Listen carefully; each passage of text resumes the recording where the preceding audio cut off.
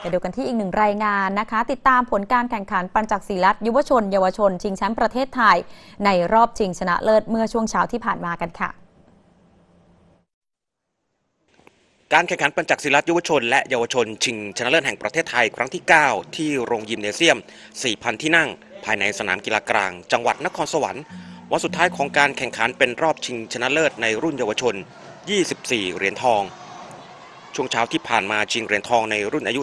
15-17 ปี น้ำหนัก 51-51 กิโลกรัมชาย คู่นี้มาสนุกในยกที่ 3 ไฟรุส หวังจิ จากโรงเรียนกีฬาจังหวัดยะลาฝ่ายแดง ชิงเตะจังหวะ 2 และเฉยโอกาสทำคู่แข่งล้ม เอาชนะคันที่สอนช่วยเรือง จากโรงเรียนปากพนัง 24 ต่อ 11 คะแนน ไฟรุสคว้าเหรียญทองในรุ่นนี้ อีกคู่ในรุ่นเยาวชนหญิงน้ำหนัก 47-51 กิโลกรัม นัทนนท์เมืองจันทบุรีจากโรงเรียน หัวหินวิทยาลัยฝ่ายแดง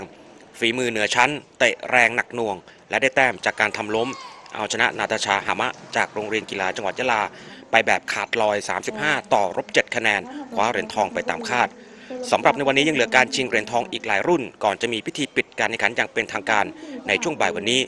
สมพงษ์ยอดสนิทถ่ายภาพนิติพันธ์สมบูรณ์รายงานจากจังหวัดนครสวรรค์ครับ